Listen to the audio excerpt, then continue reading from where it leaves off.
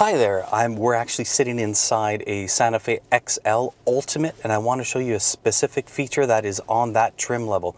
Basically, it is the 360 degree all around camera. Let me show you how it works. We'll throw it in reverse and take a look at what happens. There it is, it shows all the way around the car, but watch this, I'm going to show you a little trick. So can you see me here? And as I walk around the car, I'm in the front now come around the other side and as you can see I'm actually it's the camera showing everything we've got. You can dance in the back you can point to the camera however you want to do it. Basically just want to show it off coming onto the side. And back inside the car wonderful safety feature helps you to park better and that way you don't get those dings on the side because nobody likes the dings.